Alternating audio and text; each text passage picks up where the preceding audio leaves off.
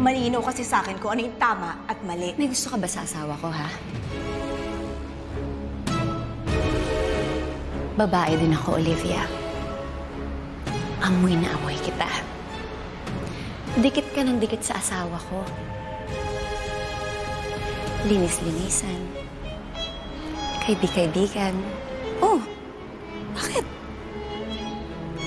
Yun pala, may tinatagong landi sa katawan.